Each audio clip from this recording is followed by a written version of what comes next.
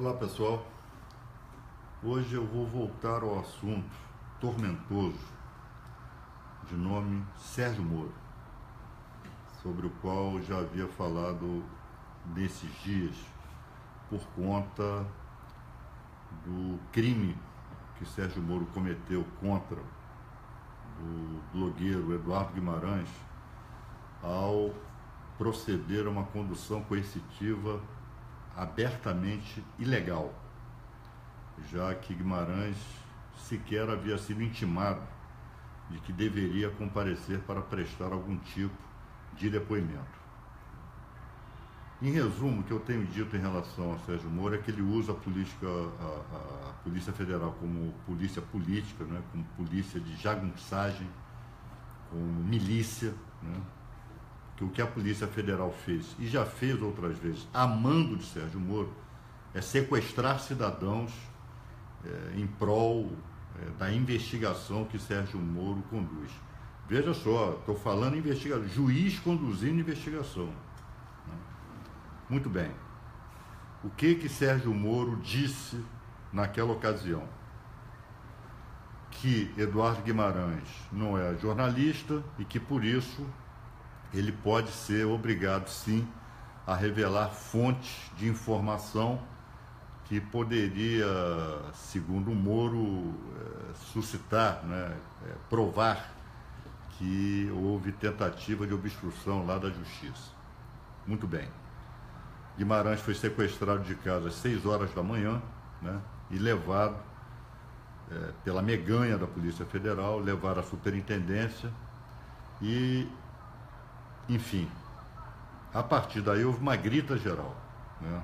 não só juristas, mas jornalistas dos mais diversos matizes, dos mais diversos matizes, tirando uma que não é sequer jornalista, Eliane Cantanide, né? essa é fora de propósito. Essa deixou, se é que alguma vez já foi jornalista, deixou de sê-lo para ser censora. Essa não conta mas entidades jornalísticas, enfim. Dentre elas a Abrage, se manifestando contrariamente à decisão de Sérgio Moro. E por que, que eu estou citando a Abrage? Porque a Abrage, o presidente da Abrage, é funcionário, é, é funcionário da Globo, é jornalista, funcionário da Rede Globo. Né? E a partir daí, Sérgio Moro refaz a decisão. O que fala Sérgio Moro na nova decisão? Reconhece que Eduardo Guimarães exerce atividades jornalísticas, diz que aquilo que foi apreendido de Guimarães, o que, que aprenderam de Guimarães? Celular, com todas as informações, laptop, etc. Né?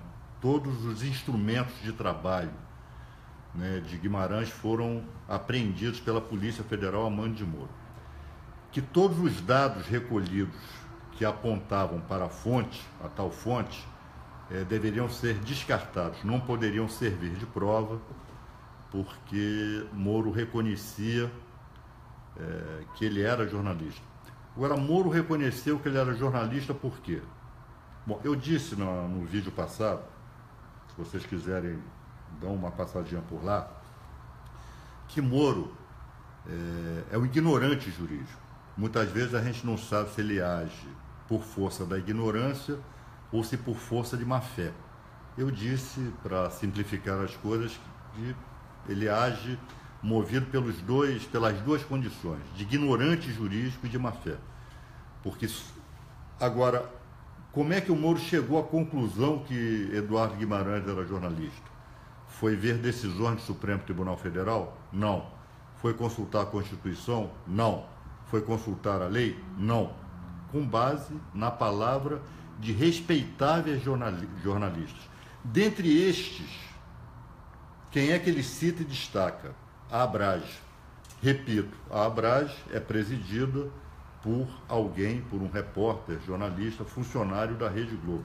Não estou colocando aqui em dúvida a isenção da Abrage nem do jornalista, não. Estou colocando em dúvida a isenção de Sérgio Moro. Em dúvida não, eu tenho certeza que não tem nenhuma. É, isso mostra outra faceta de Sérgio Moro, não é? que todos nós sabemos, pau mandado da Rede Globo. Pau mandado da Rede Globo. Né? A, a Rede Globo vira fonte de direito para Sérgio Moro. Se a Rede Globo vai numa direção, Sérgio Moro vai atrás.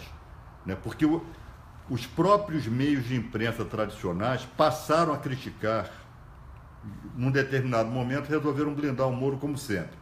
Mas depois viram que até entidades internacionais de jornalismo estavam manifestando a sua indignação com o abuso de autoridade de Moro, é, resolveram recuar. E com eles, Moro recuou, sobretudo com a Globo. Né? Então, e mais, mas Moro não, não satisfeito, né?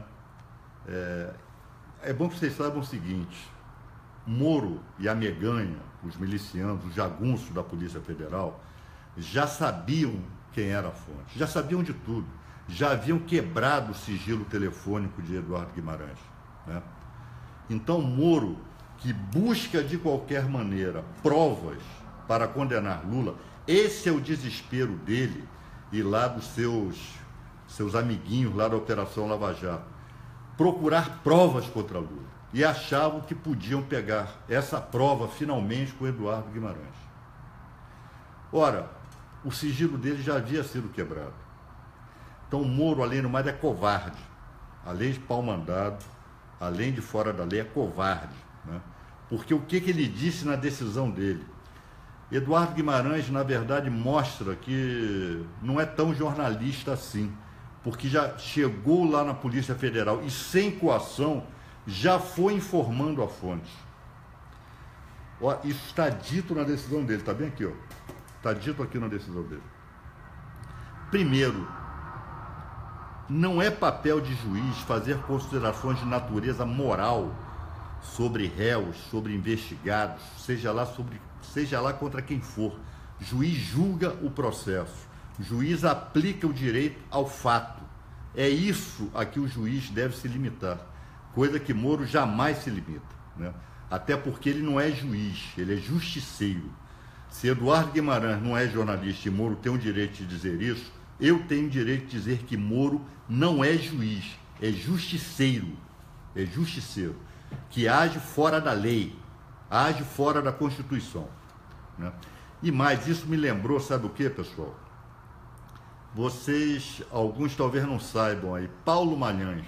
Vocês sabem quem foi Paulo Malhães? Eu me lembrei aqui do tempo que eu era presidente da Comissão da Verdade e fomos entrevistar Paulo Malhães para o trabalho da Comissão da Verdade. Paulo Malhães era um assassino, torturador. Foi o homem que organizou a Casa da Morte em Petrópolis, da qual ninguém saiu vivo apenas tão somente Inês Etienne Romeu. E o que disse Paulo Malhães, é, é, dentre tantas barbaridades que ele nos disse naquele dia, três, quatro anos atrás, foram horas de gravação, em dois ou três dias, Paulo Malhães disse o seguinte, ah, os presos, a gente prendia, eles já entravam lá na sala, já se borrando todo e já é abrindo tudo, até o periquito e o papagaio, para tentar desqualificar a memória daqueles que depois ele torturou, matou e fez desaparecer o corpo. Moro age sob o mesmo fundamento, ou seja, vale-se da sua autoridade. Só que a autoridade de Paulo, de Paulo Malhães era ilegítima. Paulo Malhães agia nos subterrâneos, né? É, a partir de instrumentos fora da organização política administrativa do Estado. O DOICOD, a Casa da Morte, eram órgãos é, clandestinos, eram órgãos que não apareciam. Sérgio Moro se vale da autoridade que lhe foi conferida pelo Estado Democrático de Direito para perseguir as pessoas, para desqualificar as pessoas, como ele fez ou tentou fazer com Eduardo Guimarães. Né? Então, além de tudo, Além de covarde, Sérgio Moro guarda traços de comportamento de um sociopata, como um torturador, como o brilhante Ustra, como Paulo Malhães. Isto tem que ser dito e reverberado para, para o mundo. Sérgio Moro disse mais uma vez agora que errou. Lembra que ele disse que, em relação ao grampo do Lula, né, que ele vazou aquelas conversas, né, e eu reputo né, a morte de Dona Marisa, eu reputo a morte de Dona Marisa, eu vou sempre acreditar que indiretamente Sérgio Moro tem a ver com a morte dela. Né? O que, que Sérgio Moro fez ao dar explicações ao Supremo? Ah, que de fato ele não devia ter feito aquilo, ele pediu desculpas. Pessoal, olha só, se algum de nós, andando na rua, nós esbarrarmos em alguém involuntariamente, nós que somos pessoas bem educadas, nós vamos pedir desculpa daquela pessoa. Não é isso?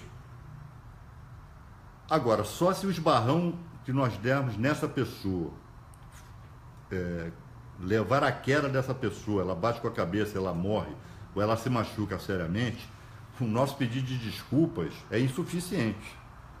O nosso pedido de desculpas é insuficiente, porque é muito mais grave do que um mero esbarrão. O esbarrão trouxe consequências. Qual foi um juiz que erra, um juiz que erra na sua decisão por ignorância ou por má fé, pouco que se dane o pedido de desculpas dele. Ele praticou uma ilegalidade.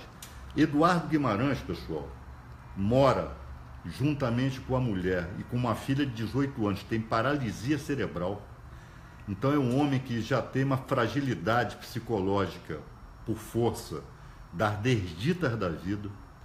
A Polícia Federal chegou arrepiando na casa dele, aos berros, sequestrando a mulher em roupas íntimas, pediu para ele se trocar, a polícia não deixou. Ele foi levado lá para a superintendência e foi interrogado com técnicas do FBI que usam para terroristas. Um homem simples, um homem já psicologicamente abalado. A filha não fala, a filha só emitia ruídos e chorava, vendo a sua casa invadida por milicianos da Polícia Federal. E é isso, o Sérgio Moro simplesmente, não, agora cheguei à conclusão que de fato ele é jornalista e vai ficar por isso mesmo. Vai ficar por isso mesmo. Como a questão do grampo ficou por isso mesmo, ele pede desculpas. E infelizmente o falecido ministro Teori Zavascki não mandou abrir um processo disciplinar contra ele. Isso tem que ter um fim. Sérgio Moro não está acima da lei. Sérgio Moro é um mero juiz. Ele tem que aplicar a lei ao processo que ele julga. Ele não pode ser um juiz fora da lei. Sérgio Moro age, na verdade, com os fundamentos com que agiam os torturadores do doicode. Não deve satisfações a ninguém, faz o que bem entende e é aplaudido por determinados segmentos sociais e blindado por grandes redes de jornais e de televisão. Até quando isto vai perdurar? Até quando isto vai permanecer? E a arbitrariedade só não foi maior porque quando Eduardo Guimarães já ia assinar um termo com informações e declarações que ele sequer havia é, dado lá no, no seu interrogatório, é que chegou o advogado já no final e impediu que ele assinasse e mandou retificar o seu depoimento. Pessoal, isso lembra o quê? Lembra DOPS de, de Sérgio Fleury, lembra Doicode de Brilhante Ustra, lembra os tempos sombrios da ditadura. Isto tem que ser denunciado. Então você, essa história, Sérgio Moro, na verdade, e junto lá com seus rapazes lá da Lava Jato e a meganha da Polícia Federal, eles estão mostrando que o combate à corrupção aqui fica de nulidades no processo. Isso mais à frente, sobretudo quando o foco cair sobre os amigos dele, né, Aécio Neves, Tucanos, PMDB, etc, etc, isso mais à frente vai acabar sendo anulado. E mais uma vez Sérgio Moro, assim como no caso do Banestado, vai ter contribuído, é para o contrário, vai ter contribuído para ter fortalecido a corrupção, a prática de corrupção, e vai ter contribuído para deixar como terra arrasada o direito brasileiro. Sérgio Moro é um agente do estado de exceção. Eu espero, eu não sou advogado de Eduardo Guimarães, mas espero que a defesa de Eduardo Guimarães tome enérgicas providências dentro da lei e da Constituição contra mais esse ato de arbitrariedade de Sérgio Moro, que usa o processo para perseguir, usa o processo para liquidar com as pessoas. Não se iluda, não ache que isto seja um instrumento robusto de combate à corrupção ou a qualquer outro tipo de ilícito. Isso é apenas